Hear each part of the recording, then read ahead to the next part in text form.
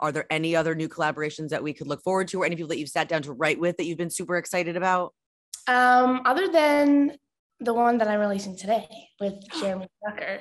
Um, I think the thing is that I've been a huge fan of him for like years. I think he was one of the first artists that actually inspired me to start music. Um, I had this song that way that I wrote like two years ago, and he just like wanted to write a verse on it, which was like the biggest fangirl moment. It happened so naturally. I like got to go over to his house and we hung out, and it was just like the best time ever. So that was like a very special thing for me.